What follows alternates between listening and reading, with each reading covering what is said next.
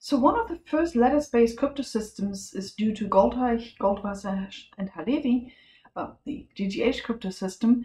And let me also highlight again what I already put on the title slide, namely that these using slides by Thijs Laarhoven. So I'm first going to show you the GGH cryptosystem, and there is also a GGH signature system, which I'll explain afterwards. So in both of those, um, setup is pretty similar. Well, you might guess it's a lattice-based system, so um, the user has a private key, which is a good basis of a lattice, and has a public key, which is a, well, not so good or bad basis of a lattice. And then the next parts should look very familiar after you've seen McEliece crypto system.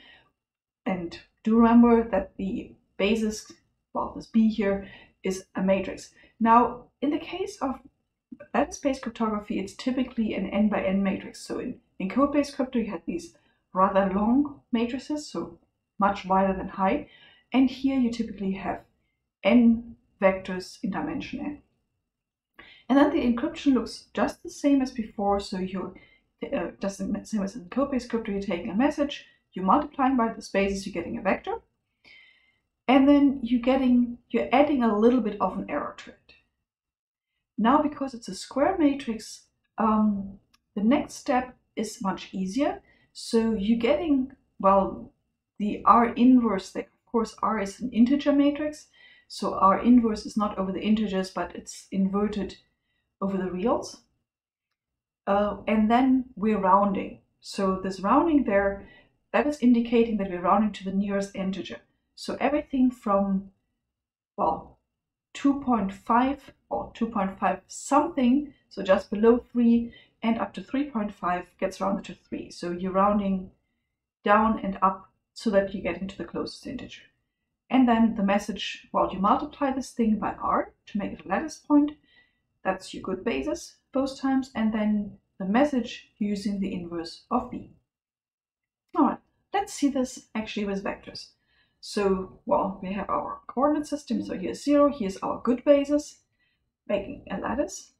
And here is, well, a different basis, the public key for the same lattice.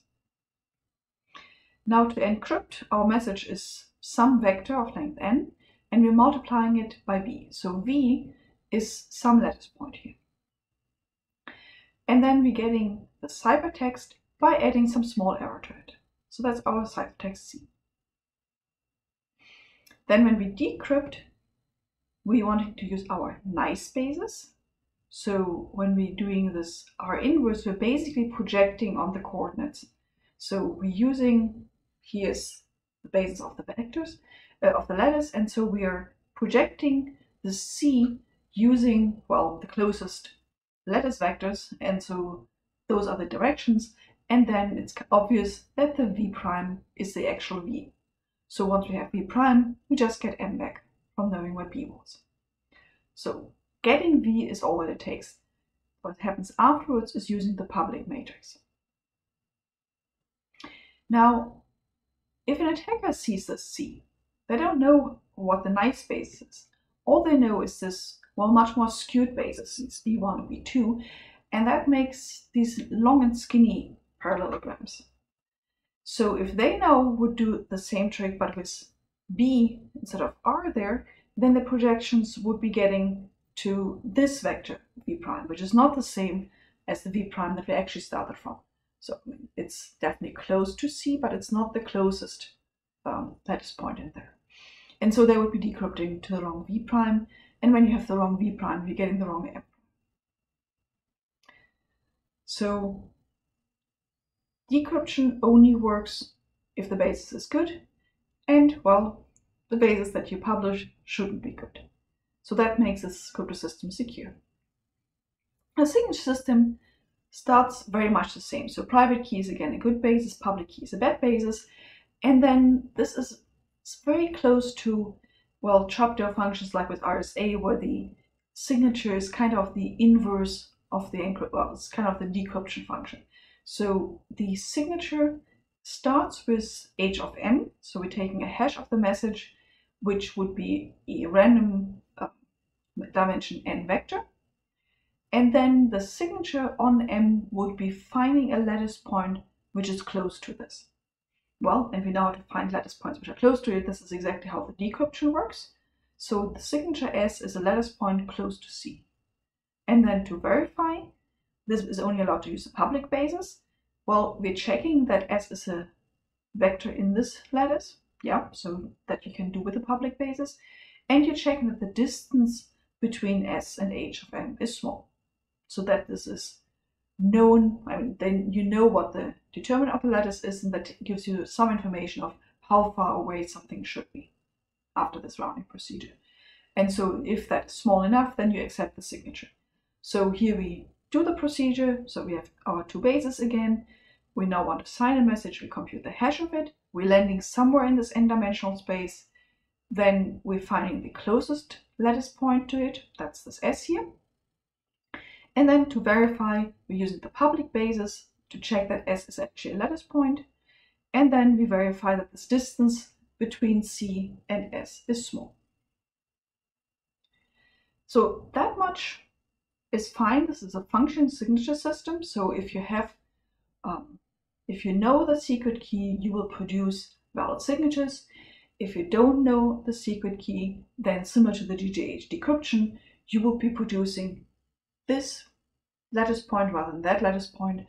And then you, well, if the parameters are chosen the right way, then it would fail on this quantity. So the distance between the signature, well, purported signature down here and the hash of the message, the C, would be just too large.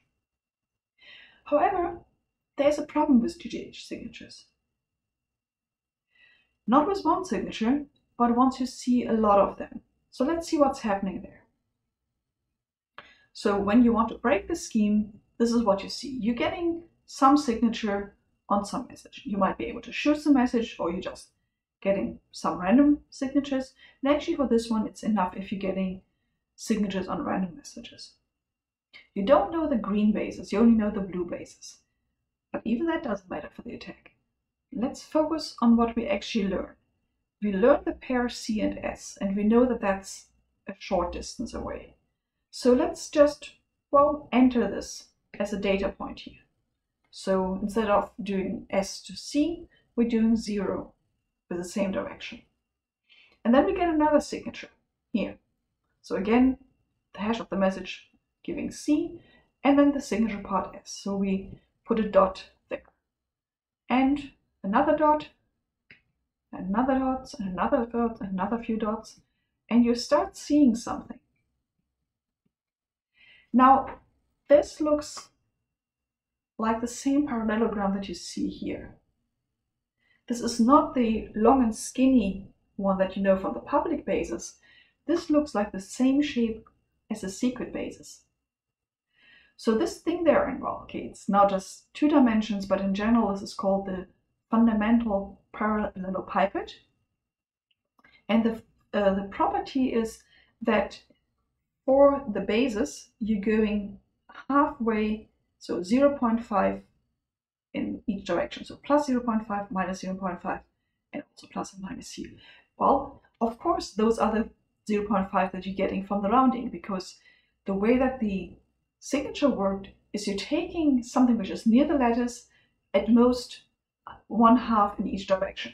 And so the difference between the C and the S will fall into this parallelepiped and then you're getting enough signatures and you actually see what the directions is. So there's a paper saying called Learning Parallelepiped, which goes exactly um, through this attack.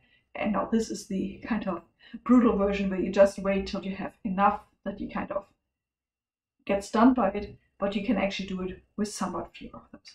So the GGH signature scheme is not secure. We have a problem there that with more and more signatures you leak something. The GGH encryption system doesn't have this problem because, well, if you encrypt something, you know what E you put in there.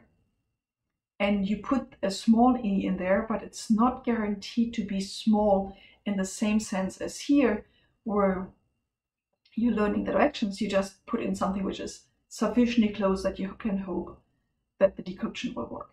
So this is really a problem because the way that the signature generated is giving away exactly something about the shape of the good basis.